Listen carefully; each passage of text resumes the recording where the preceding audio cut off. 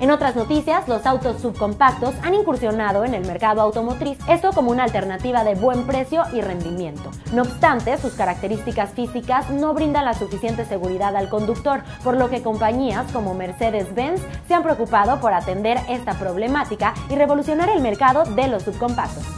El Smart 2018 combina el sistema de seguridad de la marca Mercedes-Benz con la funcionalidad de un vehículo subcompacto. Algunas de las principales características de sus modelos son rendimiento promedio de 20 km por litro, motor de 3 cilindros, sistemas de aire acondicionado eléctrico y partes intercambiables en su estructura, las cuales están protegidas por células de protección Tridón que hacen al vehículo prácticamente indeformable. De acuerdo con representantes de la sucursal Mercedes-Benz en Aguascalientes, el Smart es un auto para todo tipo de mercado, tanto para los jóvenes que buscan un primer auto seguro hasta para las parejas jubiladas que desean una mayor comodidad para realizar trayectos en la ciudad o en carretera. Vamos a un corte y regresamos con más de Total Drive, todo a tu alcance.